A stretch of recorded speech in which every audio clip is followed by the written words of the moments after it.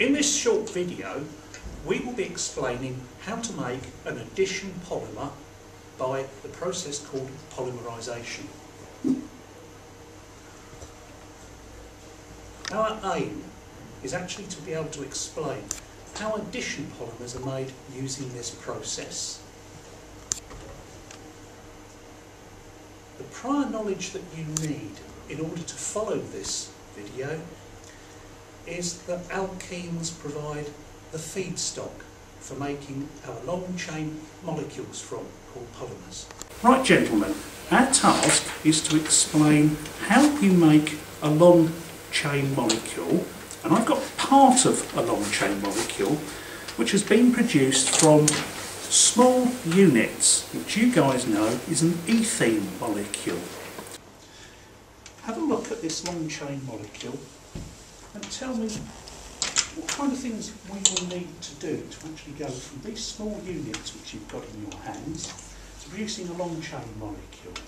You need to apply heat to it. Why would you need to apply heat? Uh, so, so the bonds, uh, the molecules can bond together. Okay, how are they going to bond together? You're quite right. Uh, well, if you apply heat, then the double bonds in the carbon will break, and so another carbon atom can connect onto it like that. Okay, so you're saying this is a process of breaking open that carbon-carbon double bond.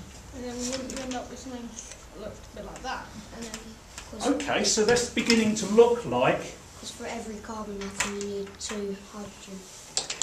Ah, so are you connecting together and making my long chain molecule for me? Yes. Okay, can we finish the task then, guys? Because I've got... So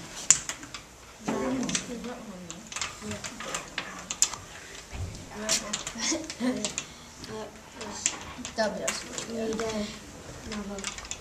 yeah, there's not enough hydrogen.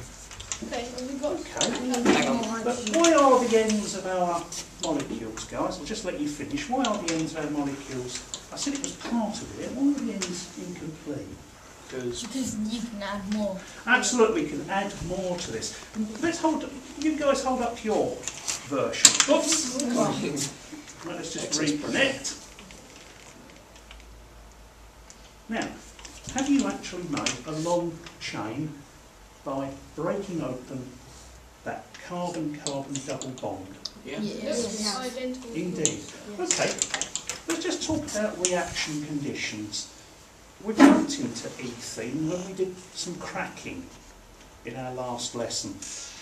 What tricks do you think we can do to make the ethene, the gas molecules, increase the chances of them actually bumping into one another and reacting? Put them pressed. Yeah. Okay, so that So means they're we're going to end up with together. more of them in there. Okay, and there was one other condition that you said to me that we would need to do. Oh yeah, apply heat Yeah. and possibly a catalyst. It catalyst. gives them more energy. Right. Okay, why do we need a, what will a catalyst do for us? Uh, well, maybe. Yeah. It speeds up the reaction, absolutely. Okay, thank you very much, gentlemen. So there we have it, how to make an addition polymer from small units by addition polymerisation. Thank you.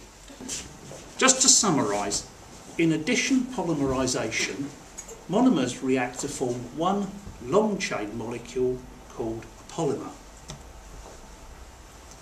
Monomers feature a carbon-carbon double bond.